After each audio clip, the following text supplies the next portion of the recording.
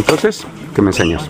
Bueno, te estaba diciendo, ves que si quieres el, la alta definición se acerca perfectamente a la textura de cine, con toda su profundidad, toda su gama de color. Y eh, es para oír un poco de ese tópico en la...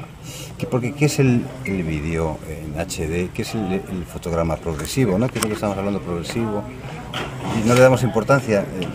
Quiere decir sencillamente que estamos grabando la realidad con un telecine que está sobre un trípode y que bueno, hay varias marcas, hay la Red eh, o las Sony o Panasonic, de tal manera que lo único que estamos quitando es el acetato y el soporte químico que usábamos en el 35 y hay que perderle el respeto progresivamente como lo hicimos con la fotografía analógica o con la fotografía química, eh, que ya pues, se ha quedado un poco para, para obra de autor, para exposiciones eh, y que no empequeñece para nada la fotografía digital. Y estos son frames. Estos son frames, eh, pruebas hechas con la 950 cuando llegó la primera unidad a España, porque sabes que era una patente para Estados Unidos, y luego eh, se hizo una importación paralela. Wow, esto es.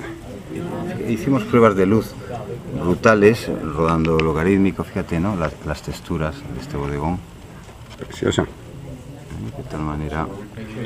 Sí, además el, el contraste es. Es usar lentes, eh, es decir, no olvidarnos de que existen lentes eh, clásicas para cine que no tenemos que menospreciar, porque una cosa es la electrónica y otra cosa es con qué capturamos, ¿no? que es el objetivo.